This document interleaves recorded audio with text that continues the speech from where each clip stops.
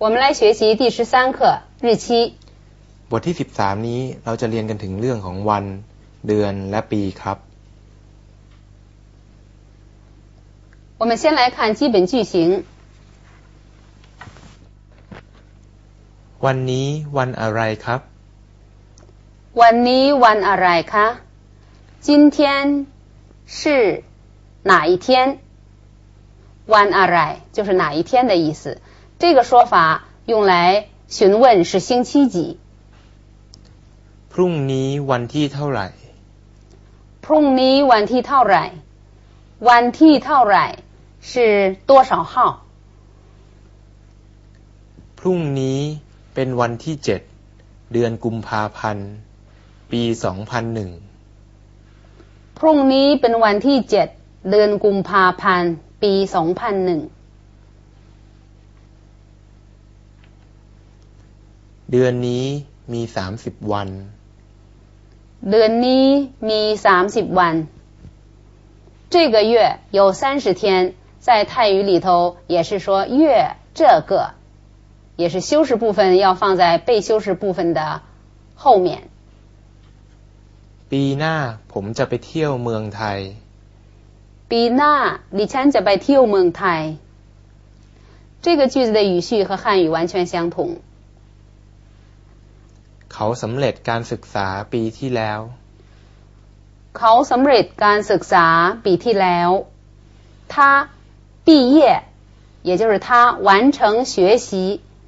去年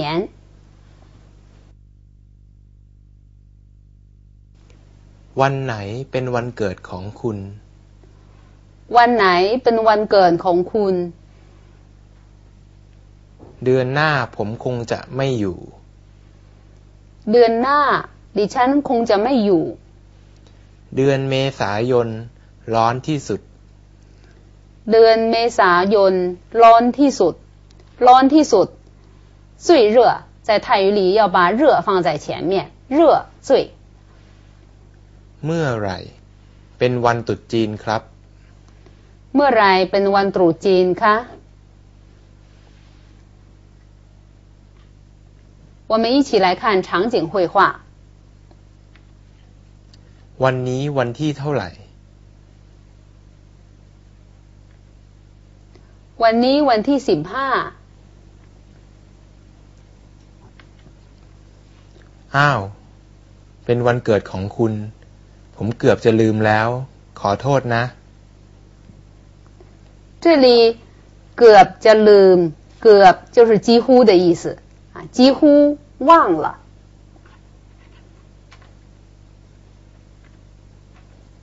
ไม่เป็นไรหรอก ไม่เห็นพิเศษอะไรเลย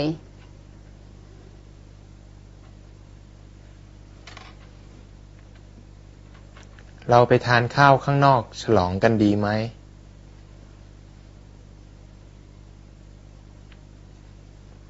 ไปทานที่ไหนล่ะ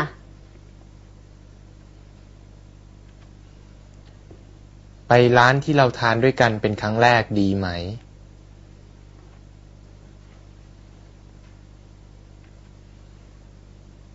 ร้านที่อยู่ริมแม่น้ำเจ้าพระยาที่สามารถมองเห็นธรรมศาสตร์เหรอ สามารถ是能够的意思，能够看到ธรรมศาสตร์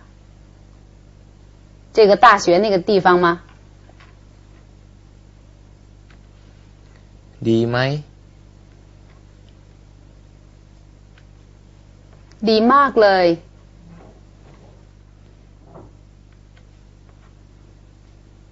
请看替换练习。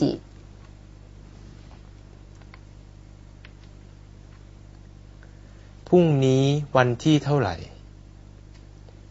วันนี้วันที่เท่าไหร่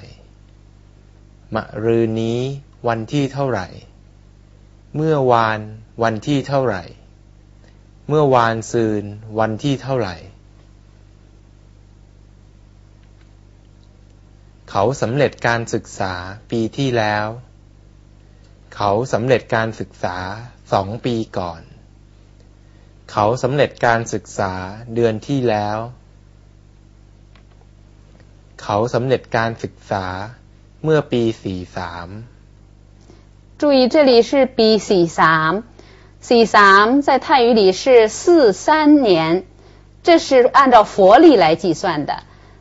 一九九九年就等于佛历的二五四三年，佛历比公历要多出五百四十三年。泰国一般习惯上还是用佛历来纪年。 เขาสำเร็จการศึกษาสามเดือนก่อน เขาสำเร็จการศึกษานานมากแล้ว เขาสำเร็จการศึกษาหลายปีแล้ว เมื่อไหร่เป็นวันตรุษจีนครับ เมื่อไหร่เป็นวันคริสต์มาสครับ เมื่อไหร่เป็นวันขึ้นปีใหม่ครับ เมื่อไหร่เป็นวันชาติครับ เมื่อไหร่ เป็นวันเมเดย์ครับ เมื่อไหร่ เป็นวันเด็กสากลครับ เมื่อไหร่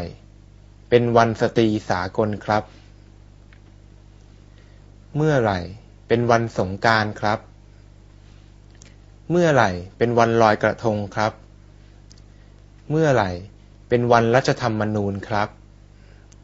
เมื่อไหร่ เป็นวันไหว้พระจันทร์ครับ เมื่อไหร่เป็นวันเชงเม้งครับ เมื่อไหร่เป็นวันไหว้ขนมจ้างครับ เมื่อไหร่เป็นวันครบรอบแต่งงานสองปีครับ 请看生词和词组。 เดือน เดือน ปี ปี หน้า หน้าสำเร็จสำเร็จ ศึกษา ศึกษา วันเกิด วันเกิด วันตรุษจีน วันตรุษจีน เกือบ เกือบ ข้างนอก ข้างนอก ร้าน ร้าน แรก แรก มองเห็น มองเห็น แม่น้ำเจ้าพระยา แม่น้ำเจ้าพระยา บทที่ 13 เรื่องของวันเดือนปี ขอจบเพียงแค่นี้ครับ 第十三课日期就学习到这里。